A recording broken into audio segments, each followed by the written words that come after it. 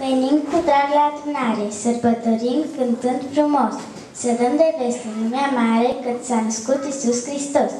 Avem și mesele încărcate, cu bunătăți de orice fel, dar oare Domnul nostru poate găsi un loc într-un mier, când colindăm pe la ferestre și peste tot vedem lumini, oare spre cerul plin de stele privim-ne și spre înălțimi, copilul care a fost în Iesle e bucuros că ne amintim, dar la fereastră dintre stele, de câte ori noi o privim, el este acolo și ne așteaptă, de aproape 2000 de ani, ca la fereastră dintre stele să vină și cei mai sărmani.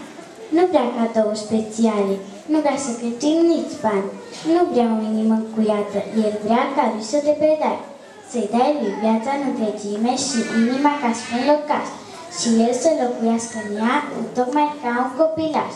Să ne amintim că veșnicia la toată sus ne-a pregătit și că în curând el o să vină așa cum ne-a făcătuit. Amin.